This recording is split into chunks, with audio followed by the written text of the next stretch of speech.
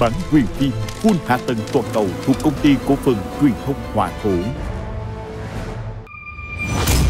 Tập 62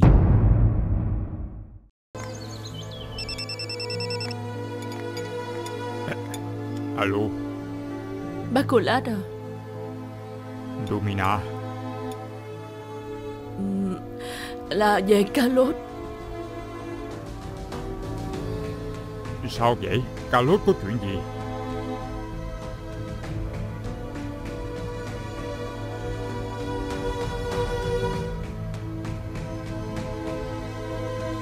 Cô lát Domina nói sao? Ông ơi Chị Romina gọi cho ông chi vậy? Ông có thể hỏi chị ấy giúp con là ba của con đang ở đâu có được không? Có chuyện gì vậy ông Domina đã nói với ông là Có chuyện không hay xảy ra với ba con rồi.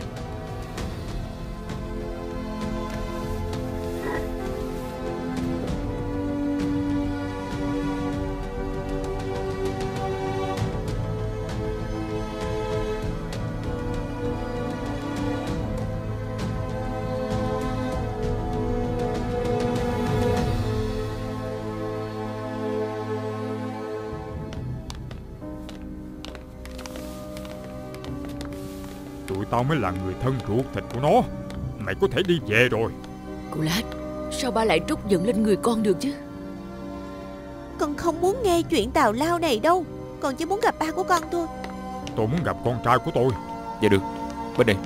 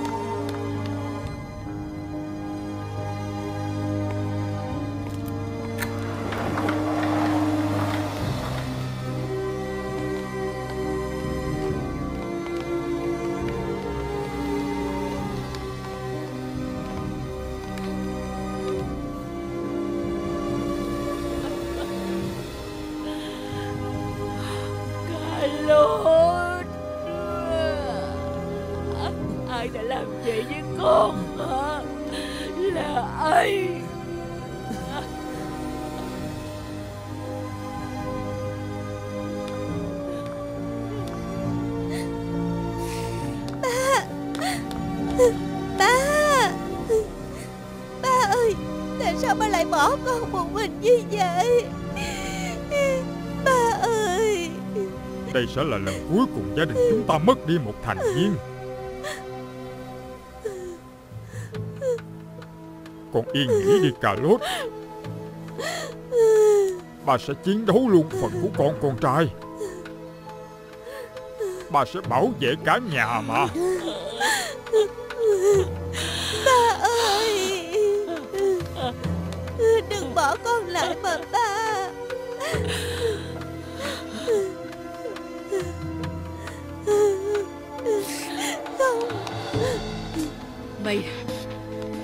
giờ mày mau giải thích cho con gái của tao.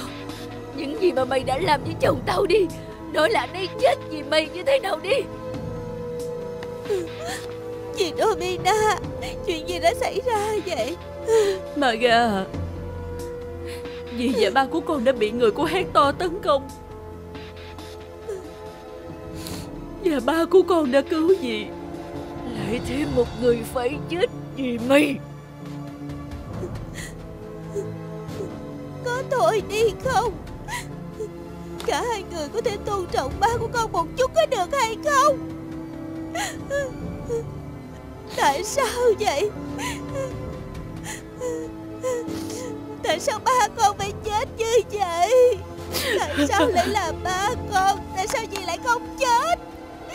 Maga Sao ba con lại phải chết như vậy chứ Cũng tại vì mà con đã mất quá nhiều Maga. thứ rồi. Vì sao lại xảy ra chuyện tồi tệ này hả? Tại sao ba con lại chết như vậy chứ?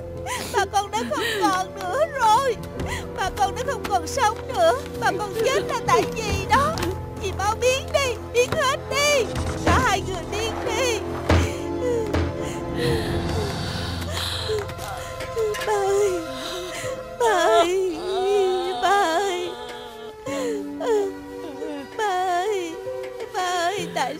dạ ba ơi. Ba ơi.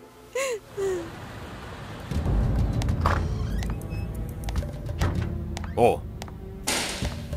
Chuyện gì vậy Danila Có chuyện gì hả? Chồng của tôi đã chết rồi. Tất cả là tại anh. Là tại tôi sao?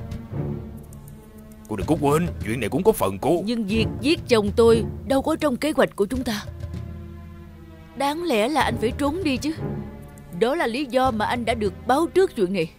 Giờ nếu như có người phải chết ở đây, Thì đó là Romina Danila à, Việc chồng của cô chết bất ngờ như vậy Là tại hắn muốn làm người hùng Và những gì sẽ xảy ra với người hùng đó là Chỉ có con được chết thôi.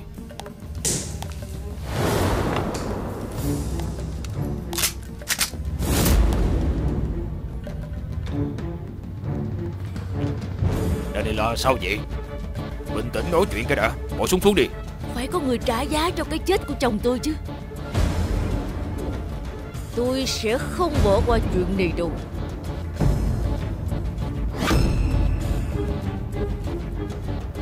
Cô thật sự Muốn biết vậy sao? Cô muốn biết ai đã giết chồng cô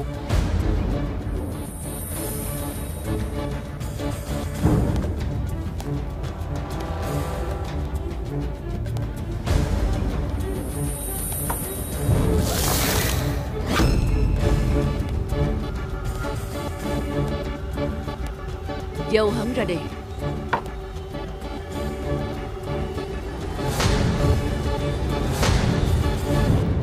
Tôi đã nợ cà lốt mạng sống của tôi. Nếu anh ấy không đỡ viên đạn đó Thì tôi đã chết rồi. Vậy còn Maga thì sao? Bạn ấy sao rồi mẹ? Tình trạng của Maga hiện tại không được tốt lắm. Cà lốt gần như là tất cả của con bé. Và vì chuyện tồi tệ này Con bé đã đổ lỗi cho mẹ có lẽ đó là những lời nói lúc nóng giận thôi mẹ Nhưng nếu chúng ta nói chuyện rõ ràng với Maga Và giải thích những gì đã xảy ra Con nói đúng đó. Mẹ đã hứa với Carlos trước khi chết Là mẹ sẽ chăm sóc thật tốt cho Maga rồi. Mẹ nhất định phải giữ lời. Con nghĩ bây giờ Maga cần có gia đình ở bên cạnh? Và bạn bè nữa. Để mọi chuyện cho mình và mi coi. Bọn mình sẽ nói chuyện này với các bạn cùng lớp Em cứ nghĩ là nhất định chị sẽ bắt được bọn chúng rồi chứ. Đó chính là chuyện mà chị không thể hiểu được. Sao chúng lại có sự chuẩn bị từ trước như vậy chứ? Như vậy có nghĩa là chúng đã biết trước. Nhưng mà làm sao chúng có thể biết được chứ? Tôi không biết. Bây giờ tôi đang cảm thấy rất là rối bời. Làm sao chúng biết được nhất cử nhất động của tôi chứ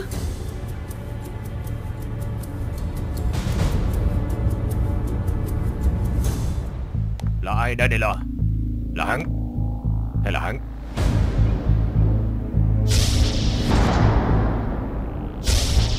Là hắn. Được rồi. Bây giờ cô muốn tôi phải làm gì? Hắn đã giết chồng tôi có đúng vậy không? Cho nên một mạng đổi một mạng. Dọn dẹp đống rác này đi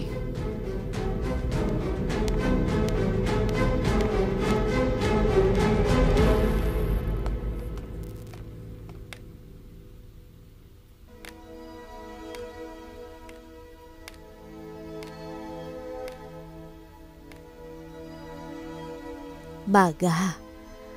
Mau đi thôi con à. Con không thể ở bên cạnh ba con mãi như vậy. Con không đi đâu. Ừ. Bà gà, Sao bây giờ con không đi nghỉ ngơi chút đi? Hơn nữa chúng ta cần phải lo tang lễ cho ba của con nữa. Con đã nói với bà là con sẽ không đi khỏi đây đâu mà con đã không ở bên ba trong những giây phút cuối cùng. Nên bà làm ơn hãy để con ở đây đi. Bà gà. Mỗi khi có vấn đề xảy ra, Thì con luôn là người phải gánh chịu hậu quả hết. Mặc dù từ trước giờ con không làm sai gì hết, Con luôn luôn cố gắng để trở thành một người con tốt nhất có thể. Nhưng họ luôn phá hoại cuộc sống của con. Bây giờ ba con đã không còn nữa rồi. Điều là do gì Romina, Cassie và mẹ của con hết đó. Họ lôi con vào chuyện này. Và bây giờ con không làm gì được nữa. Bà Ga đừng nói vậy bà con. Ba của con không đáng phải chết như vậy. Hãy nhìn ba con đi. Họ đã giết chết ba của con. Mặc dù ba con không có làm gì sai hết. Con à Ông nhất định sẽ không để cho ba con chết một cách không minh bạch như vậy. Chúng ta chắc chắn đòi lại công bằng cho ba của con. Con à Ông hứa với con Ông sẽ dùng cả mạng sống cuối cùng này của mình Để thực hiện. Ông sẽ không để cho kẻ nào phá hoại gia đình Bartolome nữa.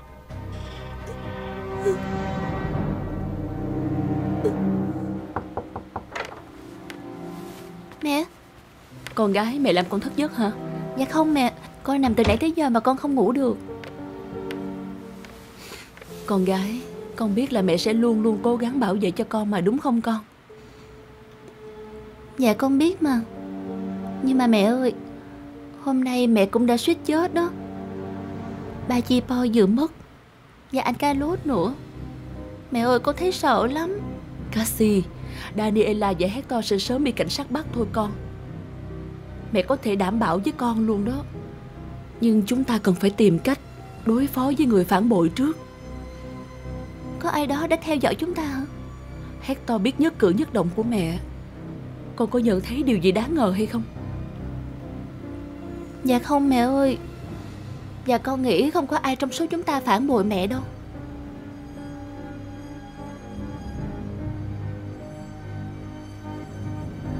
Cassie sao vậy con? Mẹ ơi con biết là Chú Bernard đang giúp đỡ cho chị Daniela Nhưng mà Tất cả chúng ta đều biết chú ấy là một người tốt. Chú ấy sẽ không làm gì khiến chúng ta gặp nguy hiểm đâu phải không?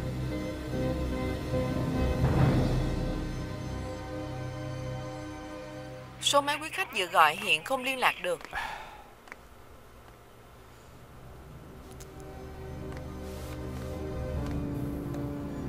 Ba. Ba. À, Ba có chuyện gì không? À, Không sao đâu con Được rồi con đi ngủ đi.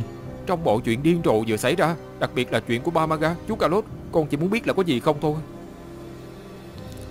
Là về ông bà của con đó? Ông bà có chuyện gì hả? Bà không liên hệ được với họ. Nên Bà đã nhờ cô Elena tới xem thử. Có thể là Họ đổi số điện thoại rồi. Cũng có thể. Chỉ vậy thôi hả ba Con đừng lo con trai. Mọi thứ sẽ ổn thôi. Ba sẽ không để bất kỳ điều gì xảy ra với gia đình chúng ta Đặc biệt là con.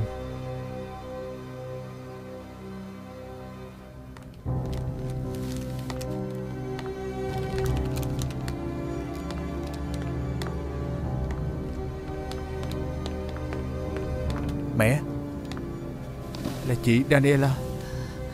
Con trai à Đó là vợ của anh con mà.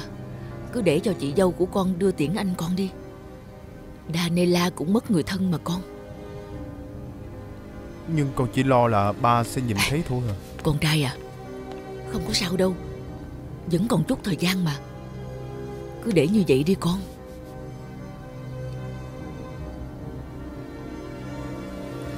Carlot à Hãy yên nghỉ đi anh Em sẽ giải quyết những người đã hại chúng ta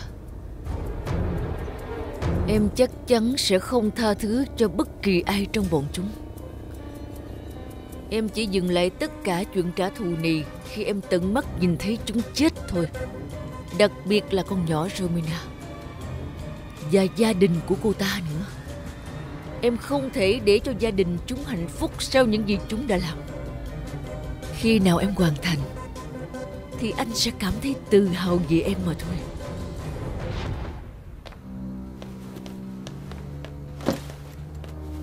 Ba. Nè cô Lát, Ra khỏi đây. Thôi mà đừng có Cô gây Lát chuyện à nữa. hãy bình tĩnh lại đi. Mày còn dám tới à? Mày chính là nguyên nhân đã khiến con trai tao không còn sống trên đời Không này phải nữa. con mà ba. Cái gì? Không phải lỗi của mày. Nếu như mày và Hector không hợp tác cùng với nhau Thì con trai tao đâu có chết bà xin bà hãy tin lời con đi. Con không có liên quan gì đến việc này hết. Con luôn hy vọng Carlos không bị lôi vào chuyện này. Romina là người mà hết tao muốn trả thù mà. Hắn đã mất đi em trai vì cô ta mà ba. Romina mới là người đáng trách. Ba đứa mày đều là nguyên nhân hại chết Carlos của tao. Mày Hector và Romina. Từ trước đến giờ Carlos luôn bị mắc kẹt Trong mối quan hệ rắc rối. Và mày chính là nguyên nhân của mọi chuyện đã hại chết thêm một đứa con của tao nữa rồi. Mày im đi. Bây giờ tao không muốn nghe bất cứ một lời biện hộ nào của mày. Đối với tao Mày cũng đã chết rồi. Ba Ra ngoài. Bà không thể làm vậy với con đâu. Con có quyền được ở đây với Carlos Bởi vì con chính là vợ của anh ấy. Mày chỉ là một con đàn bà vô dụng Daniela. Mày chưa bao giờ là một người vợ tốt của Carlos Mày chưa bao giờ yêu nó Và bây giờ mày thậm chí còn giết chết Bà nó nói nữa. gì thì cứ việc nói ra thoải mái đi. Nhưng mà con phải được ở đây để đưa tiễn chồng con theo cách mà con muốn thưa bà Con là vợ của anh ấy Và con phải ở bên cạnh anh ấy cho đến giây phút cuối cùng. Lát biến đi. Thôi.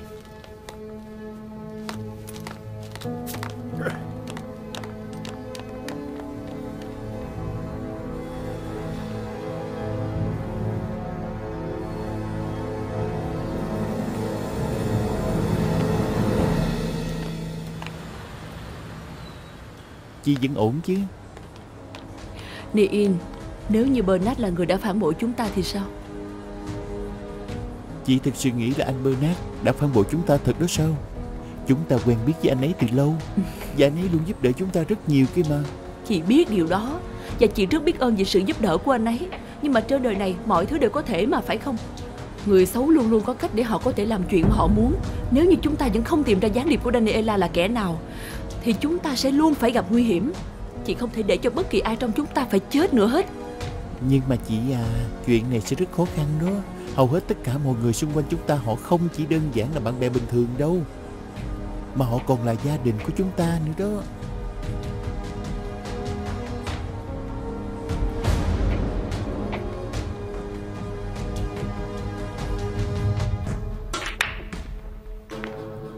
Ta làm gì đây anh? Là để cho Daniela tiếp tục làm như vậy nữa hả? Chúng ta đã mất quá nhiều người rồi. Tao có thể hứa với mày, Cô ta không làm vậy nữa đâu. Bởi vì nếu cô ta làm như vậy, Thì cô ta sẽ không chỉ mất thằng chồng, Mà còn mất cả nhà. Tao phải có được thứ mà tao muốn, Bao gồm cả Daniela. Nhưng bây giờ. Phải tiếp tục kế hoạch này đã. Bây giờ tất cả bọn chúng đều đang bận rộn với đám tang của Carlos.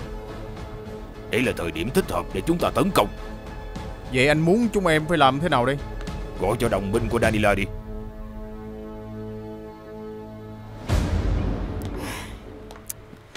Danny tôi rất mừng vì cuối cùng cô cũng đã quyết định chuyển tới ngôi nhà mới này đó. Nơi này tốt hơn nhiều. Mà mà cô sao vậy? Đừng nói là cô không thích ngôi nhà này nha. Không phải là về ngôi nhà đâu Tôi vẫn còn phát điên Vì họ dám làm vậy với tôi trong đám tang của Carlos Phải, đúng là khó tin thật. Ý là ông Kulat đó dám cả gạt đuổi cô ra ngoài hả?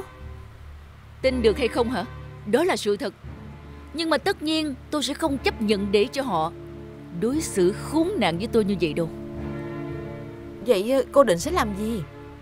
Nhưng để tôi nhắc cho cô nhớ nha Daniela Họ là gia đình chồng của cô và là gia đình của Maga Cho nên chắc chắn là cô không muốn con gái của cô nổi giận với cô đâu đúng không? Tôi sẽ nói chuyện với Maga Tôi chắc chắn con bé sẽ hiểu Ờ, được rồi Vậy kế hoạch của cô là gì? Tôi sẽ đưa Carlos đi Sao? Tôi có thể làm điều đó mà Tôi có quyền gì tôi vẫn là vợ của anh ấy. Danny cô chỉ gây rối thêm ở đó thôi. Vậy là cô đang định tự tiện đem cả thi thể của Carlos đi hả? Tôi thật sự không quan tâm những chuyện đã xảy ra ở nơi đó đâu. Điều tôi quan tâm nhất là Việc tôi có thể lấy lại hài cốt của chồng tôi được hay không thôi.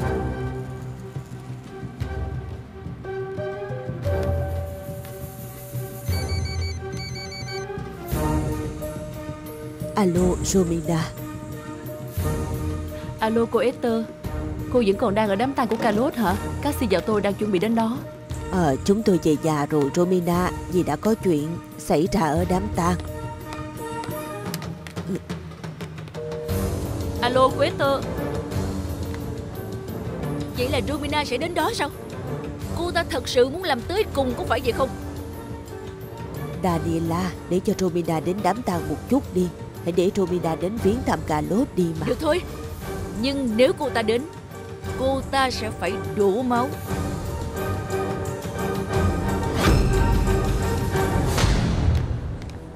Bernard?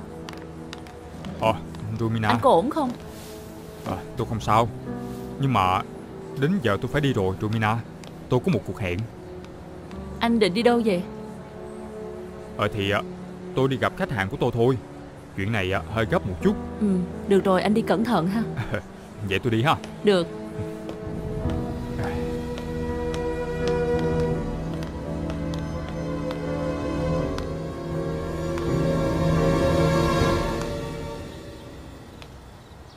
Ba là tất cả mọi thứ của mình.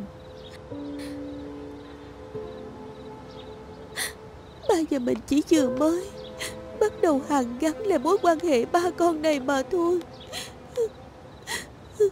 Ba mình là người duy nhất Khiến mình cảm thấy mình vẫn còn có gia đình bên cạnh. Và mình không hề cô độc. Maga bạn không hề cô độc đâu. Sẽ không bao giờ có chuyện đó. Bạn còn có bà Mina Ông Kulat Và cả mình nữa. Bạn còn có Cassie Và bạn của bạn mà. Mình thà một mình còn hơn Ở với một người như Cassie Hay những người được gọi là bạn mình? Maga đừng có nói như vậy mà. Đừng tự tách biệt bản thân Và để mọi người càng lúc càng xa bạn như vậy nữa. Vì bạn cần họ hơn bao giờ hết. Vậy bạn có thấy người bạn nào của mình không? Có ai ở đây với mình không? Chỉ có gia đình bên nội Và bạn thôi. Như vậy là quá đủ với mình rồi Mình biết các bạn vẫn còn cảm thấy đau lòng Nhưng mà mình hy vọng là Những chuyện giống như vậy sẽ không làm bạn thay đổi. Đừng để cho nỗi đau và sự tức giận lấy đi những thứ tốt đẹp nhất của bạn.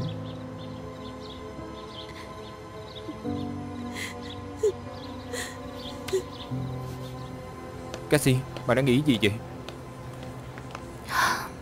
Mình chỉ đang tự hỏi Khi nào thì mối thù giữa những gia đình của chúng ta có thể được kết thúc và khi nào gia đình mình sẽ không còn? Phải sống trong những ngày sợ hãi và lo lắng Về những điều tồi tệ có thể xảy ra. Giống như là việc mất đi người thân. Bạn đừng nghĩ tiêu cực như vậy Cassie Mình nghĩ cũng sẽ đến lúc Tất cả mọi chuyện sẽ kết thúc thôi. Không có ai Phải chịu đau khổ nữa. Không có ai Tổn thương hay sợ hãi nữa. Nỗi đau và sự sợ hãi của bạn bây giờ Sẽ không kéo dài mãi mãi đâu. Vậy nên là xin bạn đừng mất hy vọng. Christoph Chào bác Ba con đi có nói gì không? Dạ có. À, Ba con nói với con là Đi gặp khách hàng. Ba con có nói là đi gặp ai không? Dạ không có. Thật ra lúc nãy con cũng rất ngạc nhiên Vì con cứ nghĩ là ba của con Đã hủy tất cả các cuộc hẹn để giúp lo mọi chuyện ở đây rồi. Cho nên con nghĩ là chắc có gì gấp lắm Chuyện gì vậy mẹ? À không có gì đâu con. Con đã sẵn sàng chưa? Chúng ta sẽ đi ngay bây giờ. Chúng ta sẽ tới đám tang của Carlos. Dạ rồi mẹ.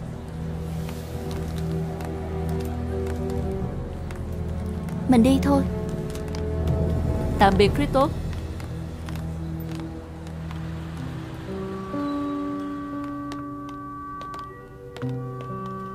Con gái Có chuyện gì sao con Dạ không sao đâu mẹ. Chỉ là con nhớ đến những gì mà Maga đã nói với mẹ ở nhà xác thôi. Con mong là bạn ấy sẽ không giận nữa. Mẹ cũng vậy. Nhưng chúng ta cũng phải thông cảm cho Maga. Và mẹ cũng mong là có thể nói chuyện. Và có một cơ hội để giải thích với Maga Những gì thực sự đã xảy ra với ba của con bé.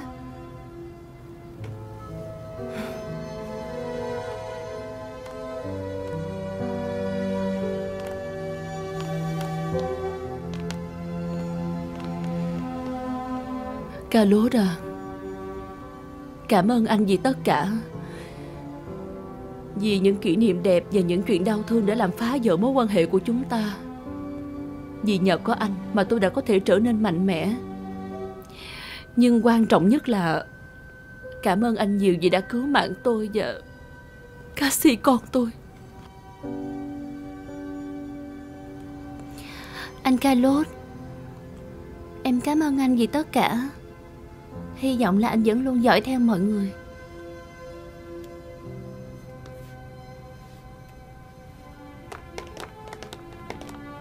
Lạ là mày. Sao mày lại có thể mặc dày tới như vậy? Ai cho mày tới đây? Mày là loại người gì vậy? Tôi cũng đang muốn hỏi câu đó. Rốt cuộc thì ông làm ba cái kiểu gì? Thay vì giúp tôi và Carlos hàn gắn lại Thì ông để cho nó tan nát. Ông thậm chí còn để cho Carlos và Maga bỏ tôi. Không còn gì nữa đâu. Tôi không chịu đựng được nữa Carlos Phải thuộc về tôi? Những người thân yêu của mày rời bỏ mày Đều là do những chuyện độc ác mà mày đã gây ra đó Daniela. Bernard Hãy nói cho ông già này biết Về chuyện tôi có quyền được làm vậy. Ông ta làm mất thời gian của tôi quá. Tôi cần đưa chồng tôi đi ngay bây giờ. Ông Kulat Đây chính là quyền của Daniela. Ờ, Dựa theo luật pháp hiện hành Thì người vợ có quyền được quyết. Hai cốt của người chồng sẽ như thế nào Sau khi người chồng qua đời Cho nên Daniela có quyền sắp xếp đám tang cho con trai ông. Vậy đó Bây giờ tôi nghĩ mọi người cũng biết tôi có quyền làm gì ở đây rồi. Vậy nên chuyển chồng tôi ra khỏi nơi này giùm.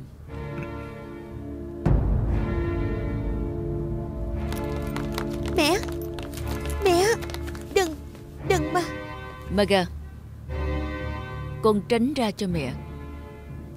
Mẹ Thôi đi mà Mẹ không thể làm như vậy với ba được. Hãy tôn trọng ba của con một chút đi. Mẹ mới là người không được tôn trọng ở đây đó. Con có thấy mẹ đã bị bọn họ đối xử như thế nào? Bọn họ thậm chí còn không cho mẹ đến giếng ba của con nữa. Ba con là người đàn ông duy nhất mẹ yêu. Vậy mà con lại đứng về phía họ à? Mẹ đang làm tất cả những điều này vì con.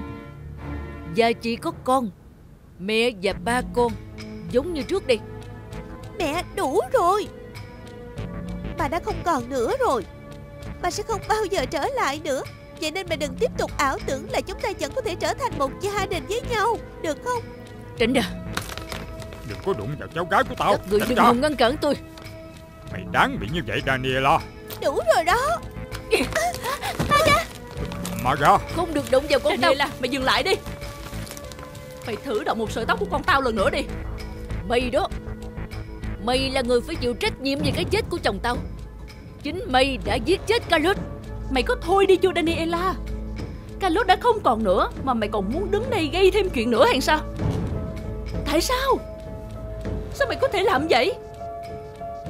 Mày muốn che giấu sự thật ở đằng sau cái chết của Carlos Là do mày gây ra có đúng như vậy hay không? Cassia, chúng ta xong việc ở đây rồi, Về thôi. Tao không nghĩ vậy đâu. Đây là lời cảnh cáo để nhắc mày nhớ về tất cả số máu đã đổ vì mày. Domina. Mày mới là người phải trả giá cho những người đã nằm xuống đó. Tao có thể thề với mày Là tao nhất định sẽ trả lại tất cả Và bắt mày phải trả giá. Nhớ lời tao đó.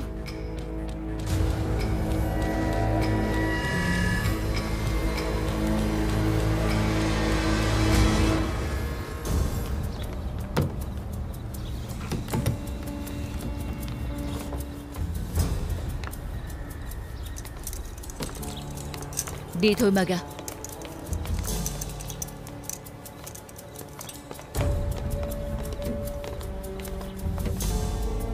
Có chắc chắn là tất cả bọn chúng đến đó không? Không nói thì tao sẽ tặng bàn tay của người thân cho mày đó. Được rồi, được rồi. Tao đã biết rồi.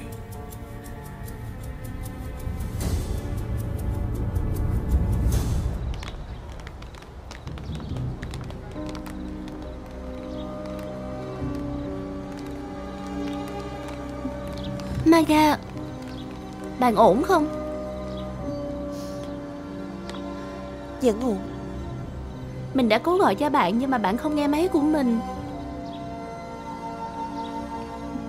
Mày nghĩ là tao sẽ trả lời cuộc gọi của mày sao hả Cassie? Maga sao vậy? Tại sao bạn lại đổ lỗi cho mẹ mình Về cái chết của ba bạn như vậy?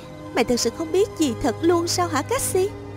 Hay là con người của mày vốn dĩ đã vô cảm rồi hả Maga như mẹ mình không có làm gì sai hết. Nếu như không phải vì mẹ mày Thì ông Hector đâu có tấn công ba tao như vậy hả? Tao đã mất ông ngoại luôn rồi Và bây giờ tao lại mất thêm ba của tao nữa. Tất cả chuyện này là do lỗi của mày và mẹ của mày hết đó. Maga mình hiểu cho cảm giác của bạn vào lúc này. Mình hiểu những gì mà bạn đã phải trải qua. Thật sự rất đau đớn khi phải mất ba. Maga mình cũng đã trải qua cảm giác mất ba đó rồi Nhưng mình hy vọng là bạn có thể mở to mắt để nhìn thấy được Những chuyện gì đang xảy ra. Tao không muốn nghe mày nói nữa đâu Cassie. Và bây giờ tao cũng không muốn nói chuyện với mày. Mà, Maga nghe mình nói đi Chúng ta đừng có làm tổn thương nhau nữa được không? Nha. Tại sao hả Cassie? Mày có thể làm cho ba tao sống lại được không? Mày có thể mang ba của tao trở về không? Nếu như mày có thể Vậy thì chuyện này có thể giải quyết rồi Tao có thể xem xét việc làm bạn lại với mày. Nhưng mày không thể. Ba của tao đã không còn trên cõi đời này nữa rồi. Và tất cả là do lỗi của mày. Tất cả là lỗi của mày đó, Cassie. Là lỗi của mày đó. Là do mày hết. Và tao luôn ước phải chi người chết ở đây chính là mày đó.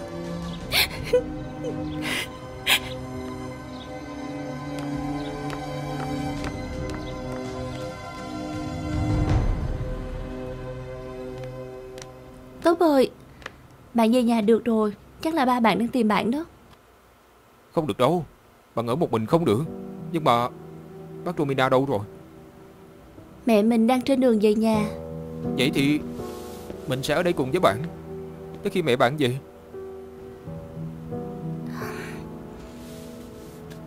Bạn sao vậy? Có gì rồi hả? Không có. Thôi đi mình biết tính bạn mà Nói mình nghe đi.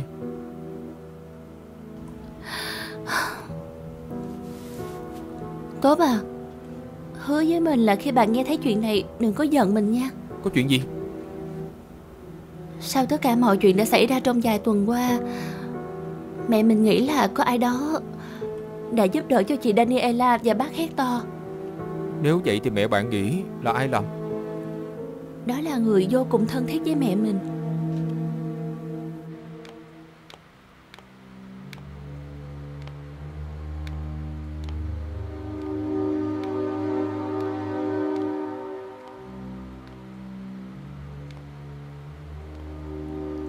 là Chuyện này không được đâu. Tại sao mà không đúng hả cô? Có gì sai sao cô? Con muốn được ở bên chồng con Trước khi anh ấy được chung cất là sai à? Cô nói đi chứ. Họ có đúng không khi họ muốn Tách con ra khỏi chồng của con? Có đúng không cô? Nhưng bà Daniela Cô để con yên đi cô Ether Cô không nghe con nói hả? Con nói Để con ở một mình với chồng con đi cô. Nhanh.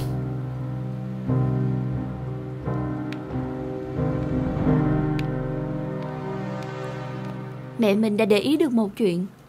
Bất kể mẹ của mình làm cái gì Thì những kẻ xấu kia luôn đi trước một bước. Mẹ mình đã nghi ngờ rất nhiều người rồi tốt. Và một trong số đó là Là ai vậy? Nói đi. Ba của bạn. Cái gì? Tại sao chứ Cassie Không thể nào có chuyện đó được? Tối bà mình và mẹ đã thấy ba bạn trong đám tang của anh Carlos. Ba bạn đã đi cùng với chị Daniela Và khi ba bạn rời khỏi đám tang ba chi boy Cassie Cassie Không không. Ba mình không bao giờ làm như vậy.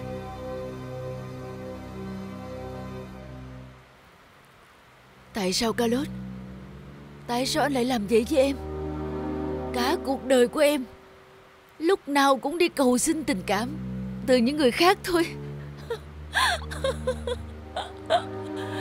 Từ ba của em Và còn anh nữa Nhưng tất cả đều bỏ em đi. Tại sao? Tại sao anh vẫn chọn cô ta vậy? Tại sao anh lại ở đó với cô ta? Em hy vọng Lúc đó anh tránh xa Romina ra, Thì anh đâu có chết như vậy. Và bây giờ chúng ta có thể ở bên nhau. Gia đình chúng ta sẽ trọn vẹn lần nữa. Chuyện này không nên xảy ra đâu anh. Và em sẽ không bao giờ hối hận về những gì em đã làm để hằng gắn mối quan hệ của chúng ta. Bởi vì đây là lỗi của Romina. Cô ta là người đã giết chết anh. Và em nhất định khiến cô ta phải trả giá cho mọi chuyện.